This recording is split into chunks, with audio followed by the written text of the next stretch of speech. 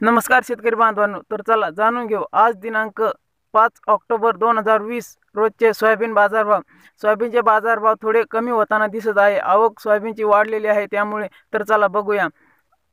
जळगाव बाजार समितीमध्ये आवक आलेली होती. चौसष्ट सॉरी चौतीस क्विंटलची. येते कमीत कमी दर होते तीन हजार तीनशे जास्तीत जास्त दर होते तीन हजार चारशे व सर्वसाधारणचे दर होते ते होते तीन हजार तीनशे रुपये प्रति क्विंटल.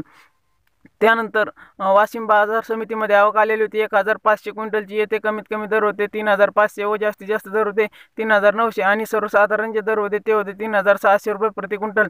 त्यानंतरची बाज़ार समिती जर बघितली, तर परतूर बाज़ार समितीमध्ये आवक आलेली होती. तीनशे चाळीस क्विंटलची येते, जास्तीत जास्त दर होता तीन हज़ार सातशे आणि कमीत कमी दर होता तीन हज़ार तीनशे व सर्वसाधारण जो दर होता तो होता तीन हज़ार पाचशे रुपये प्रति क्विंटल. त्यानंतर सोलापूर बाज़ार समितीमध्ये आवक आलेली होती. सातशे बत्तीस क्विंटलची व कमीत कमी दर होता. दोन हज़ार आठशे आणि जास्तीत जास्त दर होता. तीन हज़ार सहाशे आणि सर्वसाधारण दर होता. तो होता तीन हज़ार चारशे नव्वद रुपये प्रति क्विंटल. त्यानंतर अकोला बाज़ार समितीमध्ये आवक आलेली होती. दोन हज़ार एकशे चौऱ्याहत्तर क्विंटलची येथे जास्तीत जास्त दर होता तीन हज़ार आठशे एकवीस रुपये व कमीत कमी दर होता तीन हज़ार दोनशे आणि सर्वसाधारण जो दर होता तो होता तीन हज़ार पाचशे पन्नास रुपये प्रति क्विंटल. त्यानंतर जालना बाज़ार समितीमध्ये आवक आलेली होती. सहा हज़ार चारशे अठ्ठावन्न क्विंटलची येथे जास्तीत जास्त दर होता तीन हज़ार सहाशे पन्नास व कमीत कमी दर होता दोन हज़ार सहाशे आणि सर्वसाधारण जो दर होता तो होता तीन हज़ार चारशे रुपये प्रति क्विंटल. हे होते आजचे सोयाबीनचे बाजारभाव.